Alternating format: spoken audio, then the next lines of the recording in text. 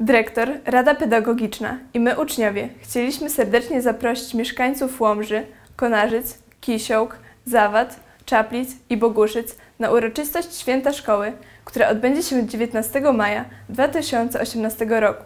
Szczególnie serdecznie zapraszamy byłych pracowników i absolwentów naszej szkoły. Pragniemy poinformować, że święto szkoły organizujemy w związku z setną rocznicą powstania szkoły, 90. rocznicą wybudowania budynku szkoły, 75. rocznicą śmierci naszej patronki oraz 15. rocznicą nadania naszej szkole imienia podporucznik druhnej Jadwigi Dziekońskiej pseudonim Jadzia.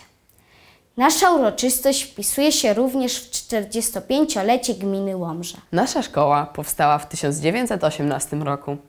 Jej pierwszym kierownikiem został Zygmunt Rozmysłowicz. O budowę szkoły zabiegali mieszkańcy Konarzyc.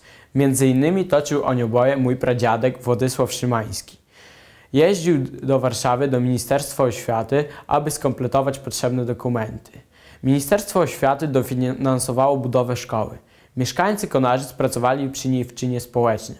Cegły wozili ze Starej Łomży. Zapraszamy na święto naszej szkoły.